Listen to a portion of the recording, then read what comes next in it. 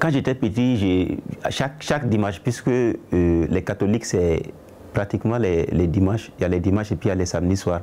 Mais nous, c'était les dimanches, on partait à l'église. Et chaque dimanche, je suivais soit mon père et soit ma mère pour aller à l'église. Et moi, certainement, j'ai cherché à comprendre quelque chose dans la religion catholique que je n'ai pas vraiment eu d'explication fiable.